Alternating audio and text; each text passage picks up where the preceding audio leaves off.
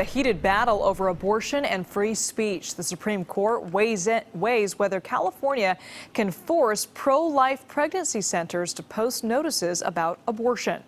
California says its law is designed to keep women informed about their options, but hundreds of faith based pregnancy centers say they're being singled out. KPIX 5 political reporter Melissa Caen breaks down the high stakes case. Melissa?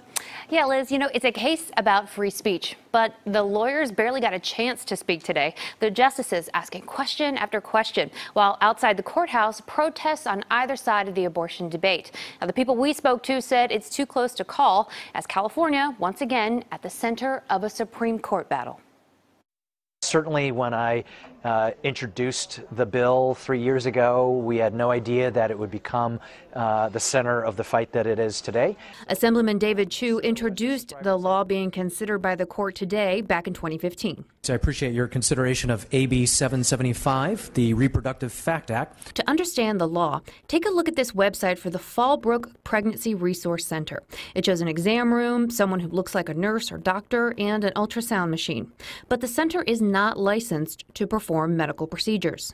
We have in California over 370 fake health clinics uh, where the operators of these clinics have been deceiving pregnant women who come in, uh, in some instances delaying their care. On January 1st, 2016, Assemblyman Chiu's law took effect. It requires nonprofits providing pregnancy related services to post a notice telling patients that free or low cost abortions are available elsewhere. And places that are not licensed to provide medical procedures have to post a notice saying they're not licensed. Today, the court focused on two issues. First, does this law punish people based on their political viewpoint?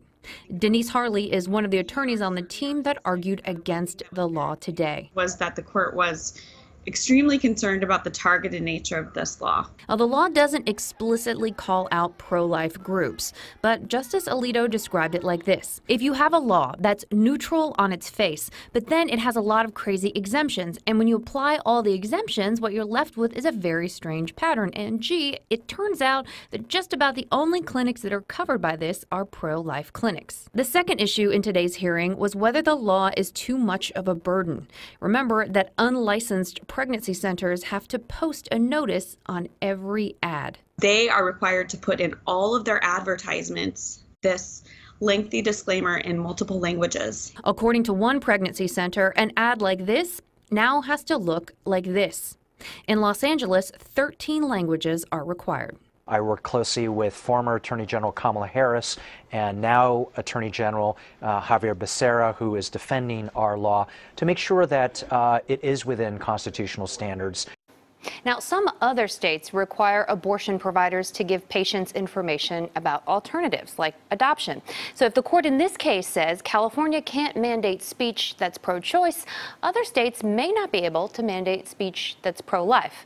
Of course, it all depends on the ruling, which we can expect by June. Melissa Caen, KPIX 5.